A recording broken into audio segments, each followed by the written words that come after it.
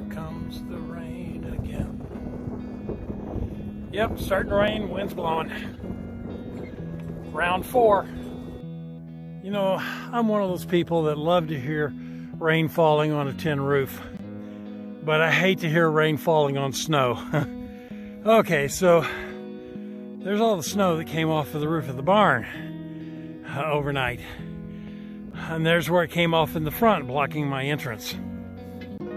And on this side, only about half of it's left off because this roof is insulated because the uh, uh, this is the section of the barn where the pack house is.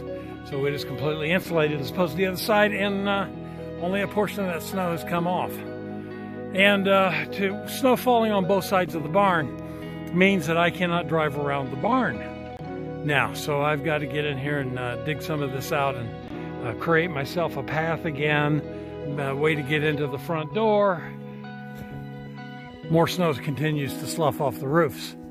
Another day of warm weather, 40 degrees, rain tonight. Finally lets up, cools down tomorrow.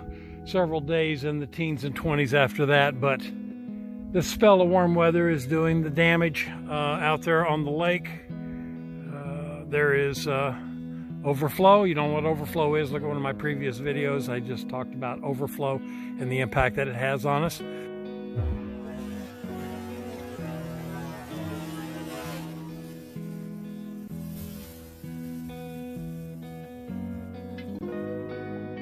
Fuel shed.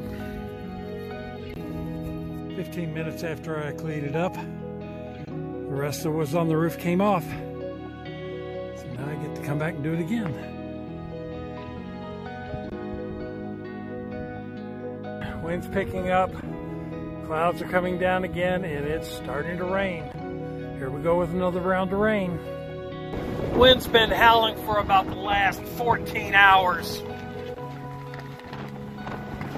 Forecast says that we're going to drop about 20 degrees during the course of the day.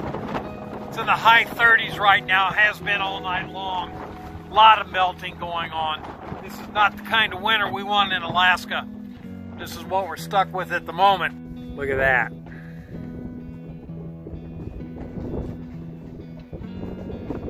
Glazed over. Once the clouds clear off the mountain over there, when the sun hits it just right, that entire mountain will look like that. And trees down everywhere. A lot of these are going to have to be cut out of the trail.